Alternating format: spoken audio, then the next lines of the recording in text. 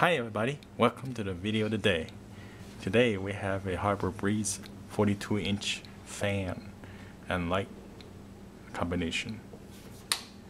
This is how it looks like with the lights on. This is how it looks like with the lights off. I'm going to be using this thing for since 2000.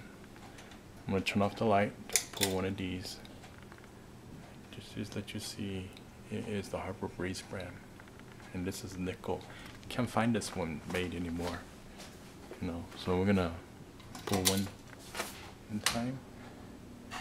And it will spin very fast.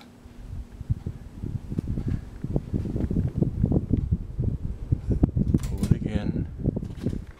Speed number two is a little bit slower. Great amount of wind. Save a lot of money with the ceiling fan instead of having AC on.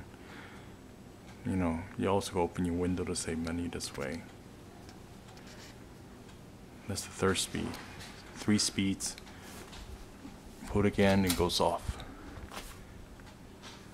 And again, you know, you always could turn the light back on by pulling this thing over here. Oops, a little bright. I can't find this fan anymore. I think originally I bought it from Lowe's one of a kind, very beautiful. Didn't wobble. I don't know why some people say there's wobble, but maybe it's the connection. And I have no problems with it at all. Used to over uh, 10 plus years. Very simple in a way. You turn off by pulling it or clicking the power switch. Turn back on time and this one it actually has two colors on both sides. So you know we selected this color. There's a darker color at the side of the the windmill we call. And uh, this one you also use uh, Energy Star or CFL lights but um, a little bit more brighter. This one the the lights actually they use you can see regular light bulbs will work. So there's no special light bulbs that you need on this one in particular little bit pricey, I guess, when I initially got it.